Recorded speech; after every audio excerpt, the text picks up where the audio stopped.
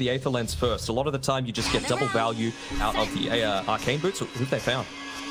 Look at Richard Siamese Cat. Solo kill for Toronto. Tokyo should be able to... Oh, he's not even going to be able to find it. All right, up to top now. We go by the outpost. A jump in. Onto Collapse, but Mira with the Blink reveal as well. They're decent Avalanche to be able to prevent the follow-up. It looks like they'll just sacrifice Mira's life. But it's still really vital, right? Remember what it can get rid of. It can get rid of the slows. It can get rid of the roots. It means that you are scared of this Troll Warlord, but maybe not as much as you used to be. Run the first goal. Not the spiders. And Mira wants the gold. No, the double stun. And they're going to be able to jump instantly to follow up. Great for Toronto Tokyo with a blink out to the left side. Here is in a position as well to try and jump in if he finds an opening, but Asher, they're going to back off of his team.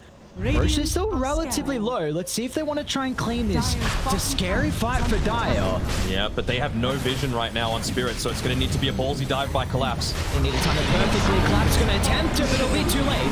Mira still gets an incredible avalanche with the fall as well. They're all grouped up on Aster, but they haven't died just yet. Monet With the BKB, he's going to be okay, along with Ori, thanks to the Bloodstone, but they want to try and call the retreat. And Monet will just TP out directly in their face, but unfortunately for Ori, he will not have the same fate. And now it's time for Spirit to clean up.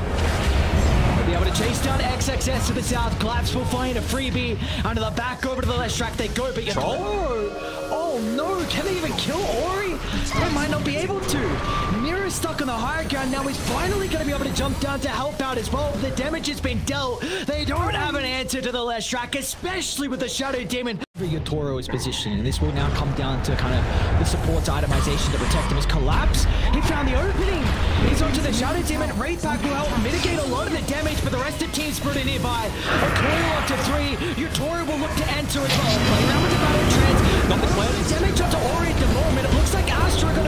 be okay to left, right, and center as XXS stays alive, and now he can get the position. Renate's a little bit low for the moment. Again, look at Siamese Cat as well, always playing far away from his team, making sure there's no opportunity for him to be caught out. Poking though, 10 seconds left on Collapse being able to come back so frequently able to use these illusory Orbs with the options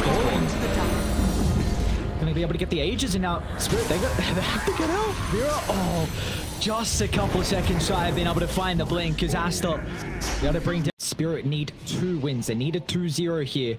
To guarantee it. 1-1 is still possible. There's tiebreak if that could happen. From what down the lane, it's BoBoKa's going to jump inside the base. Trying to bring down some of the supports.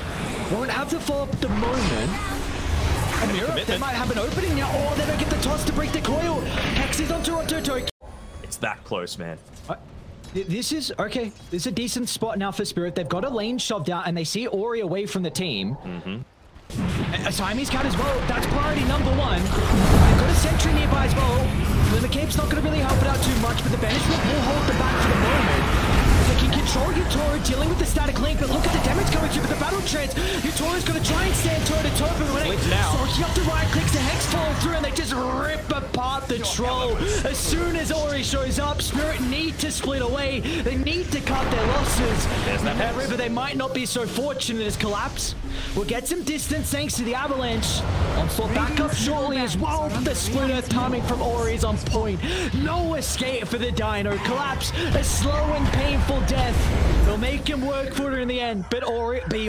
I'll keep saying it. No team has won TI starting the lower bracket. It is so goddamn important to have that second life. Imagine starting lower bracket where you have to go through a best of one and then six other series afterwards.